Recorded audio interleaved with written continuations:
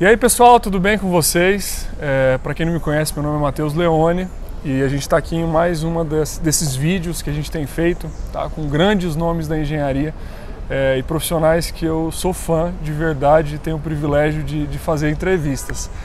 É, nesse momento a gente está aqui nesse espaço muito bonito, por sinal, que é o Mackenzie, a Universidade Mackenzie aqui em São Paulo, a unidade de Higienópolis para fazer entrevista com esse grande profissional e amigo que é o professor Renato Saad, engenheiro civil e grande especialista e consultor na área de patologia de revestimentos de fachada. Tá? Então, queria tudo bem, Renato? Prazer estar aqui com você. Tudo bem, Matheus. Agradecer é por você estar aqui dando essa oportunidade para a gente dividir um pouquinho do seu, do seu conhecimento. Obrigado. Eu queria que antes de falar um pouquinho sobre a parte técnica, que você contasse um a, sua história para as pessoas, sua formação, um pouquinho da sua história. Legal. Bom, primeiro eu quero agradecer o Matheus, ele desembarca, estava perdido aqui em São Paulo, desembarcou de Brasília e viemos aqui para o Mackenzie. Matheus, obrigado, obrigado pelas palavras. Eu, eu não me considero é, ou grande, mas um, um, talvez caminhando para, né? A gente está buscando a excelência naquilo que a gente acredita que é a boa engenharia, né, trabalhar com ética, com profissionalismo, né, com seriedade, conhecimento. Bom, falar um pouquinho de mim, eu sou patologista desde, desde 90 praticamente, quando eu estagiei com a professora Maria Noronha, né, foi minha grande mestre, que foi quem me mostrou o caminho da patologia. É, fui muitos anos na patologia de concreto, um patologista mais generalista, nos últimos cinco anos estou focado em fachadas, revestimentos argamassados, cerâmicos, esse problema endêmico do Brasil, né, do revestimento cerâmico, e muito problema de argamassas industrializadas, argamassas estabilizadas, né, é um problema generalizado aí no Brasil.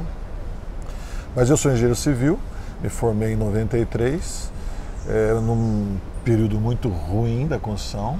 Mais, né? mais eu, ou menos quando estava nos últimos anos nossos anos. aqui, né? Não tem um ano bom, né? Tirando 2011 até 2013, boom, né? né? O boom da construção. Mas é, a construção civil é uma cenóide, é. né? infelizmente. É, se você ainda não se ligou é, nessa, então já fique ligado já a partir de agora ligado. que a gente. É. é, subidas e descidas na construção civil.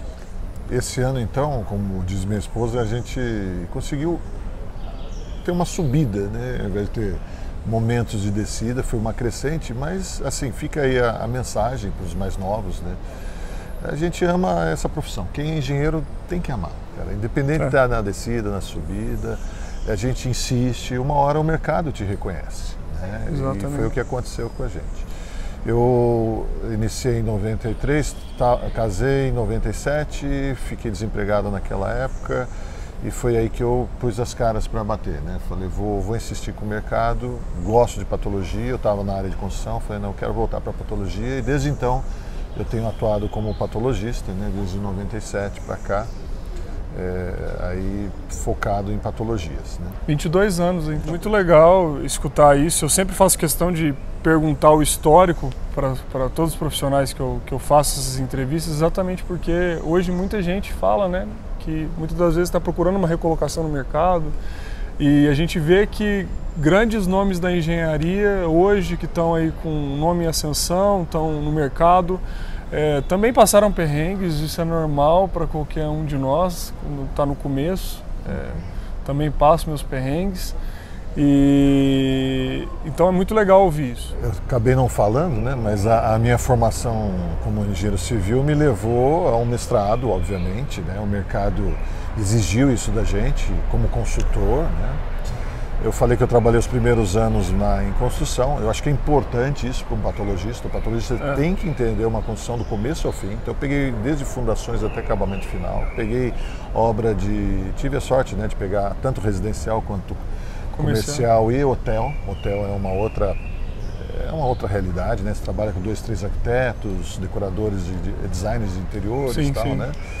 E, mas eu sempre foquei no conhecimento. Eu achava que engenheiro, você se formar engenheiro para ficar tocando pessoas, né, ou, ou, simplesmente levando material de uma obra para outra, Matheus, aquilo me, me deixava angustiado. Então eu fui fazer mestrado na, na Poli, né, na Politécnica, Depois você edita isso aí, né? Porque eu mudei a sequência, acabei esquecendo. Fiz na Politécnica em São Paulo, né? Comecei em concreto projetado, patologia de concreto projetado.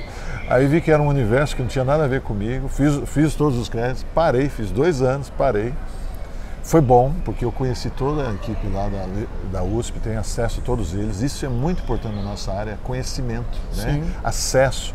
A gente, como patologista, não pode nunca deixar esquecer a universidade, porque é ela que vai trazer informação É. técnica e a gente vai aplicar e vai dizer se funcionou ou não funcionou. Né? Exato. A gente fica nessa ponte. Então eu voltei para o mercado, fui tentando nessa área de inspeção predial, eh, patologista, vendendo relatórios, projetos, laudos de recuperação, até que desenvolvemos uma carteira de clientes. E em 2003, então, eu volto para o IPT. Né? O IPT tem um curso de mestrado é, é, estrito senso, só que é noturno e você aplica dentro da sua área de atividade. Então você Legal. não sai daqui. E, inclusive eu queria mexer com concreto, o pessoal falou, não Renato, o concreto está saturado, vamos para a área de revestimentos? Foi aí então a minha grande mudança. Né? Se você acompanhar a minha vida profissional, ela dá um salto após o mestrado do IPT. Porque precisava, precisava do mestrado, e quem quer, quem quer ser patologista tem que estudar sempre. Tem. E outra coisa que mudou muito a minha vida foi ter feito uma matéria na Poli de ciência dos materiais. Essa matéria é sensacional. Cara, essa matéria é a dica. Porque É. você, vai, você não enxerga mais os materiais por cor ou textura, você Exato. vai enxergar a microestrutura. E é ali que vai acontecer a maioria das patologias, os módulos, as deformações, tudo vai A partir da ligação química parte toda a correlação que vai ter depois no- na- nas propriedades dos materiais.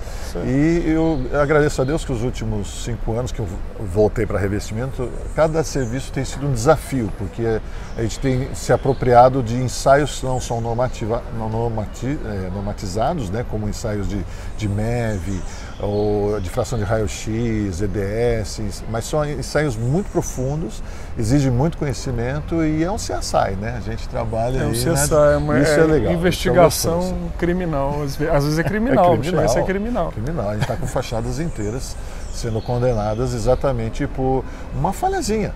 Vocês já viram, a gente já postou sobre a falta da cura, o cimento utilizado no lugar errado.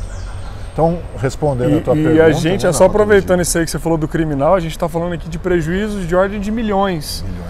Porque quando você pega uma fachada para ser recuperada, depender do número de camadas que você tem que recuperar ali, você está falando tranquilamente um valor médio de 300 a 400 reais o metro quadrado Exatamente. de recuperação. É, né? Um valor médio sem considerar Paulo, muito grave ou 450, menos, É, para você pegar e recuperar aquilo. E quando você pega isso por um edifício de 15 pavimentos, quatro fachadas, é milhões. milhões. São milhões de reais. É, a gente teve casos recentes aí de recuperações localizadas, por exemplo, na ordem de 5 milhões.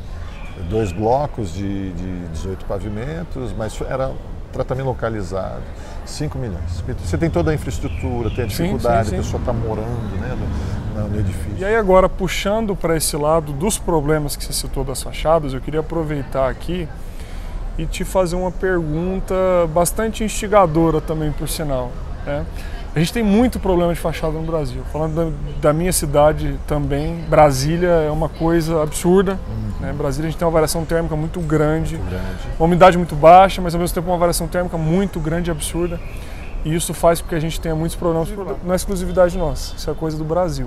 Eu queria que você falasse a sua opinião, o que você vê hoje como os grandes causadores dos nossos problemas dos revestimentos de fachada. Bom, o que, que eu atribuo? É, é muita coisa, né, Matheus? É, é difícil, mas eu, eu, sinto falta do engenheiro na obra, sabe? Eu acho que a, a gente sabe que os problemas vêm do projeto, vêm da nossa mão de obra, mas a, peca pela fiscalização. Fiscalização. Muito.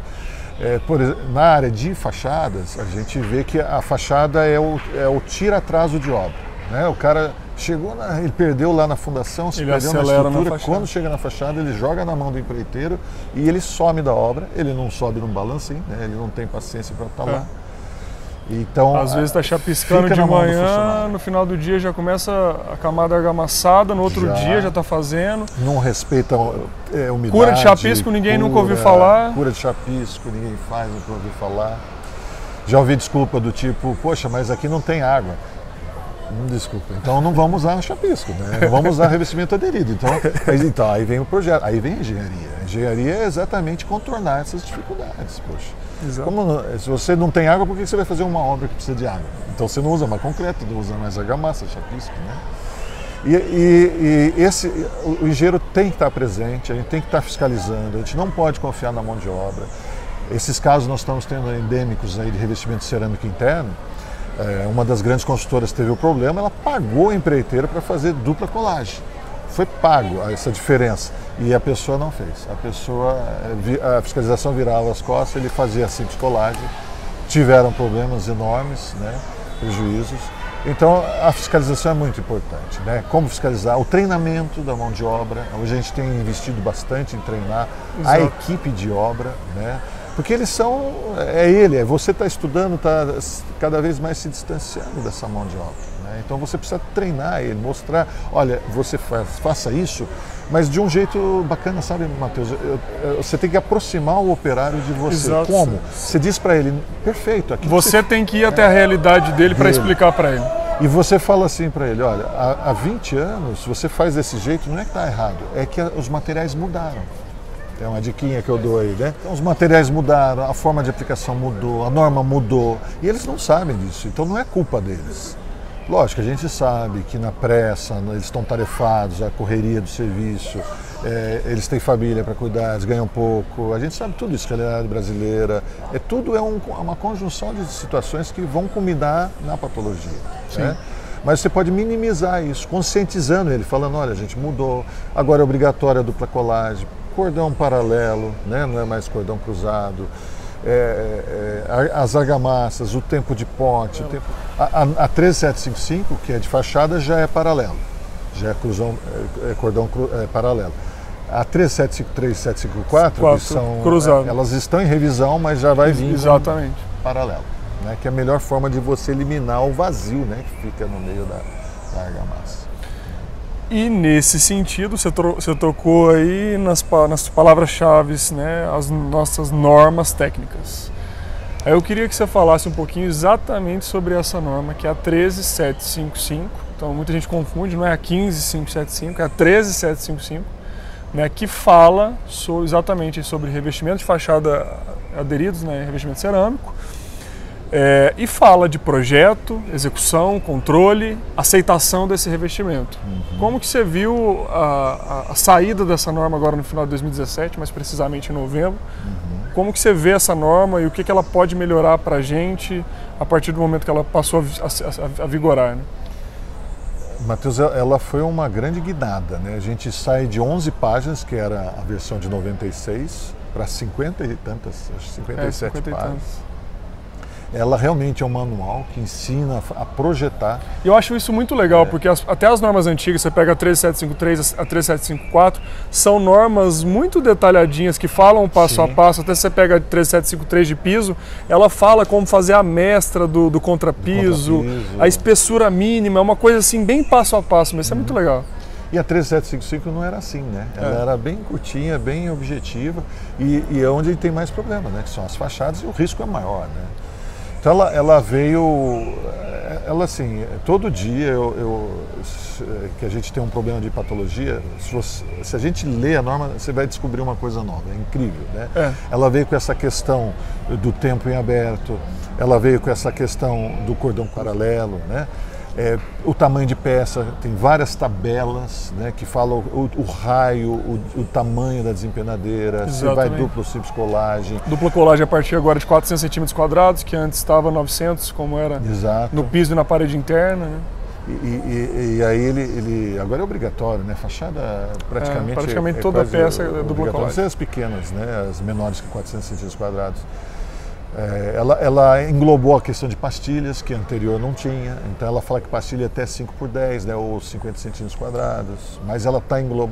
tem uma desempenadeira própria, é, ela fala do fornecedor, ela faz versão, porque a, a norma antiga se eximia de pastilha. Né? Exato. E uma coisa bem interessante é que é o ensaio de resistência de aderência. Ela acabou, essa norma acabou entrando na norma de, de, de argamassa né, na, na 3749. Exatamente. E o pessoal de argamassa ficou, não, não podia, mas já foi. e ela é. forçou, inclusive teve uma revisão, que é o ensaio de aderência, que agora veio em três partes, não sei se, se já está a par, ela, ela, foi revisada agora, já saiu de consulta pública e já vai ser é, lançada, publicada. Né? Então elas são três partes. A primeira parte é o ensaio de resistência superficial, 0,5 megapascal. Do embolso, da do capinha embolso, do embolso. Do embolso. Da a gente capa tem do embolso. muita queda de revestimento cerâmico, trazendo, quer dizer, a cerâmica gruda na argamassa colante, a pessoa faz tudo direitinho, quebra cordão, eh, respeita os tempos em aberto, Exato. o tempo de, de, de, de, de- de uso da argamassa, E aí o embolso está fraco. mas o embolso está fraco. Aí a peça cresce, seja por expansão por umidade e ou né, a dilatação E isso é térmica. uma falha sistemática que eu vejo muito na restauração dessas fachadas por aí. Às vezes você chega, você vê o- a pessoa trocando, digamos, da argamassa colante para frente, e aí Exato. você procura os pontos de ensaio de aderência de arrancamento, não tem nenhum, na fachada.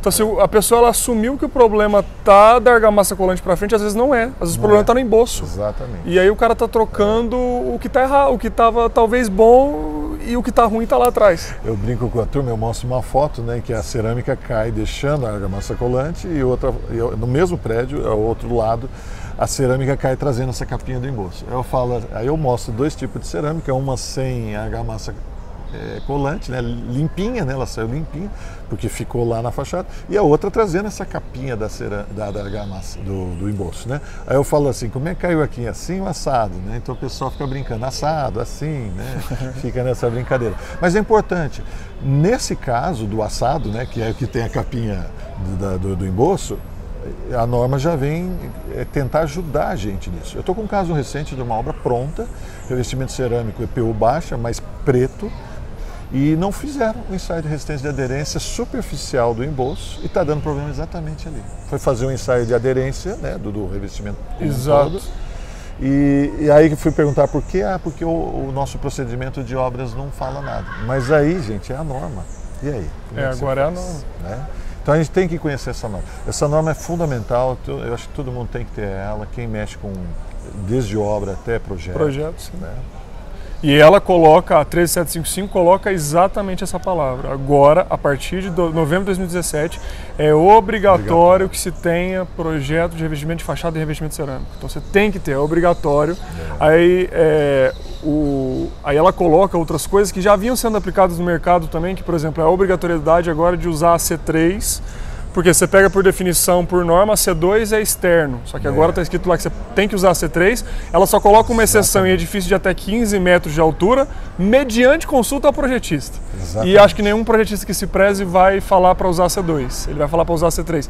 Porque já era uma coisa que estava sendo feita no mercado, porque já tinha se percebido que a C2 estava dando muito problema e a norma agora trouxe isso, esse ponto. Outra coisa também, as telas de amarração. né, Se a gente pegar a estrutura vedação, ela traz essa tela, fala como tem que ser essa tela. Então, abertura 2,5 por 2,5, fio de 1,24, eletrosoldada, galvanização pesada e por aí vai, né? Tudo isso. Onde ela é embutida, né? Exatamente. Em que, em que, ar- em que região. Exato. É, é, que a anterior só comentava que tinha que ter a tela e- e- e quando você tinha um au- aumento de espessura do embolso. Agora Exato. não, né? Agora ela fala é, da, da observância dessa região de dilatação diferenciada entre estrutura e alvenaria. E ela coloca que a partir de 5 centímetros você já tem que estruturar esse revestimento com tela. A gente sabe que não é uma situação desejável, né? Sim. Mas isso pode acontecer e ela prevê que isso aconteça. Então, já se, se acontecer, realista, é, está sendo mais realista, né? Então, isso é uma coisa muito importante, porque a norma está prevendo condições que realmente podem acontecer no dia a dia, não é aquela coisa que se acontecer, o que, que eu faço, né? Ela está É. prevendo uma condição já que eh, se tornou até normal né, no nosso dia a dia, infelizmente, ter que tratar com paredes completamente desaprumadas. Né? Isso é, com- é complicado. Por isso que eu até sou defensor da ideia da contratação junto de projeto de alvenaria, mais projeto de revestimento. Sim, isso é um ponto porque daí a mesma pessoa que fez, ela já leva a lógica ali para pensar nos revestimentos, né? Acho que isso é importante. É, então é isso. Eu acho que nosso bate-papo aqui, apesar de rápido, trouxe muita informação aí para vocês. Então, é, como o Renato falou aqui, ah, fica de olho nessas normas que a gente citou, né, nesses poucos minutos que a gente conversou aqui, porque são normas importantíssimas e não só para quem trabalha com revestimento, mas se você trabalha em obra, o revestimento é na sua obra. Exatamente. Né? Então não adianta, você tem que lidar com isso é, e ser conhecedor dessas normas. Tá? Então queria agradecer muito aqui a, a oportunidade de falar Obrigado, com você, Matheus. Renato. Agradeço E- aí. É uma honra, né, estar do lado desse, É. jo- jovem, né? Ele não contou ontem, fez o aniversário. É, dele, né? ontem foi meu aniversário. Tô quase nos É, 30, tá quase. quase nos 30, mas ele tá, tá aí é, apaixonado pela engenharia e está fazendo a diferença aí com os mais novos, né? É. A gente não tem por que esconder aquilo que a gente alcançou. Lógico, é, você vai ter que batalhar, né, para chegar onde é, a cada um, cada um vai ter seu caminho. Deus vai abrir portas, momentos. Você tem que aproveitar a oportunidade. A gente cansa de ouvir isso, né?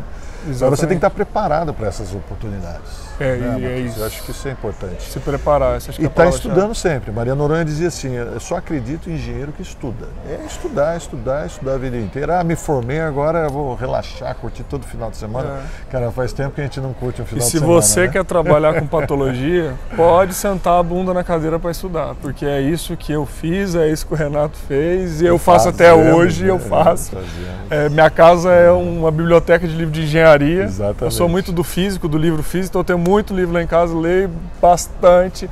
Toda hora tem que puxar lá na hora de um laudo, abrir o livro mesmo, consultar, olhar ali. Né? E isso é muito bom né? também, por outro lado, que a gente está sempre atualizado. E tem que estar, tem que estar. Senão o mercado engole. Engole. É, você fica para trás ou então você dá uma recomendação que o outro que sabe mais que você, você vai passar pelo famoso mico. Né? Exatamente. Quando o cliente né, já te olha torto e você, é, você tem que dar o seu melhor, né, Tem, Matheus? tem, Eu que vez, agradeço. Obrigado, Renato. Gente, até a próxima. Até a Te próxima. vejo nas próximas oportunidades aí. Valeu.